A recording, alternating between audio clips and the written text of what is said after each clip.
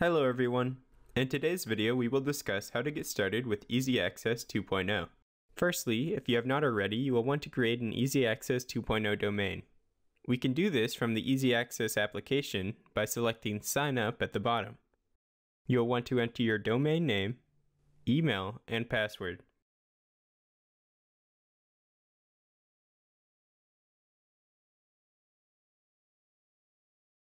Now that this is completed, select Sign Up and you will be met by a verification page. The verification email will be sent to the address you provided, and the email will look similar to this.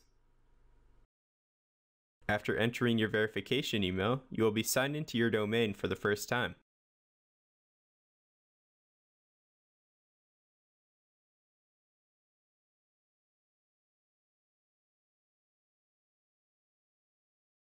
Once the Easy Access page opens, you will see a blue plus sign on the bottom right of the main interface. Select this and navigate to Add to Domain. This will scan for any device with Easy Access activated on your network. Once you find your HMI, simply select the HMI and hit Add to Domain. If you do not see the device you are looking for on this window, this could mean two things. Your device is not easy access activated, or your HMI is not properly connected to the same network as your PC. To ensure your HMI is connected properly, connect your HMI to your router and check to see that it has a stable connection.